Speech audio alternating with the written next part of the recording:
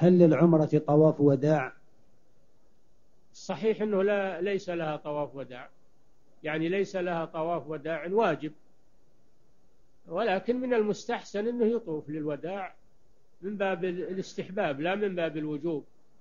أما الوجوب فلا يجب طواف الوداع إلا في الحج. نعم. يقول السائل ما حكم استعمال الحناء في لحية ليس فيها شيب؟ لا حاجة إليه. استعمال الحنة مع مع عدم وجود الشيب هذا من العبث. لا حاجة إليه إنما يصبغ الشيب فقط. نعم.